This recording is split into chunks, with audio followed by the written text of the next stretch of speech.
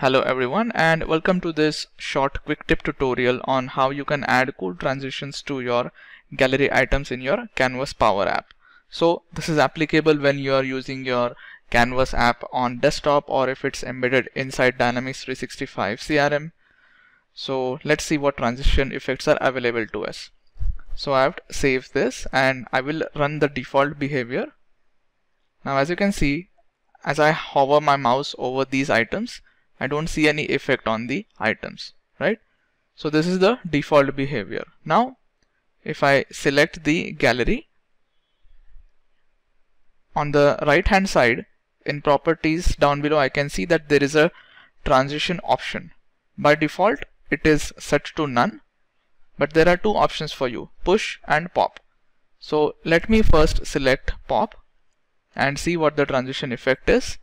Let me click on save and now I will run this app.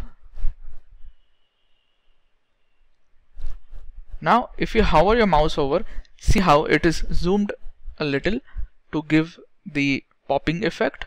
So that's how you know which item you are focusing on. So this is a nice touch. Again, if I close this and let's see what the other effect is. Again, let me select this gallery and change the transition from pop to push.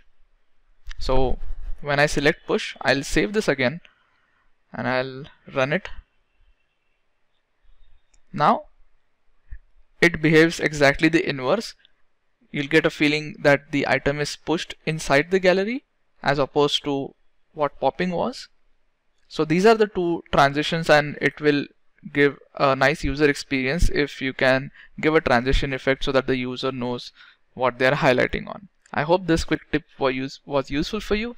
Thank you for stopping by.